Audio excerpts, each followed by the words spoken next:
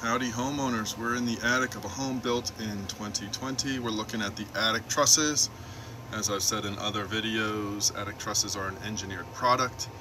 They should not be cut or altered in any way without re-evaluation by either the truss manufacturer specialist or a structural engineer.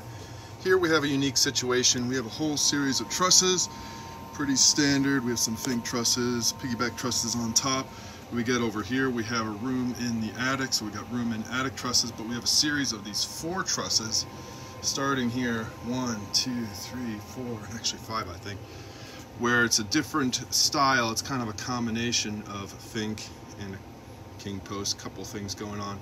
Very custom trusses, but I guess the top chord was at the wrong level.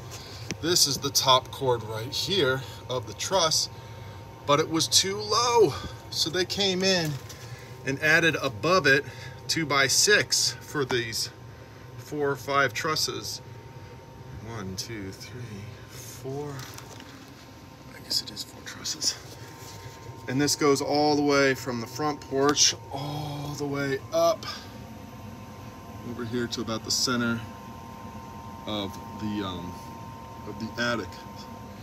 And they raised and supported that two by six with subflooring, which is pretty thick laminate flooring, laminated flooring, but it, uh, you know, again, you, you changed it.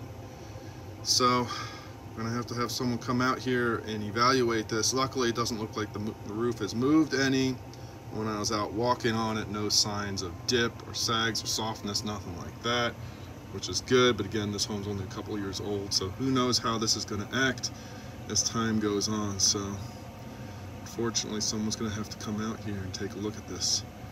You know, if they deem additional repairs need to be done, uh, yikes, this is pretty extensive.